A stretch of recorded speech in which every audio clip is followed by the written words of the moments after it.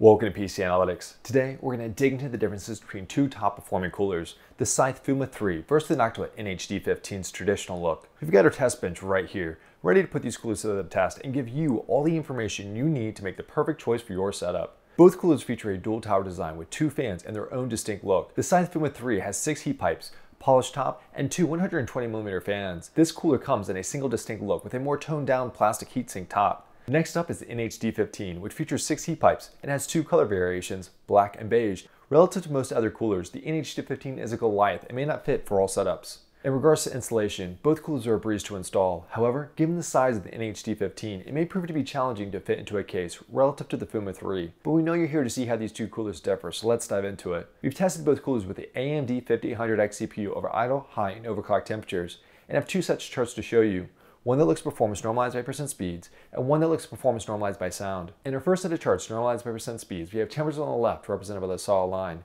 noise on the right represented by the dashed line, and percent speeds on the bottom. For this graph, lower is always better.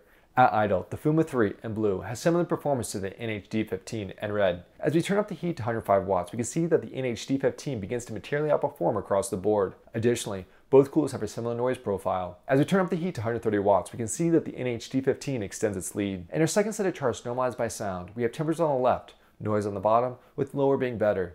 At idle, the coolers continue to perform similarly. As we turn up the heat to 105 watts, we can see that the NH-D15 begins to materially outperform for a given noise level. And when we push the CPU to 130 watts, we can see that this trend continues. And if you're curious on how the Fuma 3 stacks up against the Peerless Assassin 120 SE, you should check out this video comparing these two coolers. Thanks for watching. If you enjoyed this content and found it valuable, I invite you to support us by giving us a thumbs up or hitting that subscribe button. Your support is appreciated.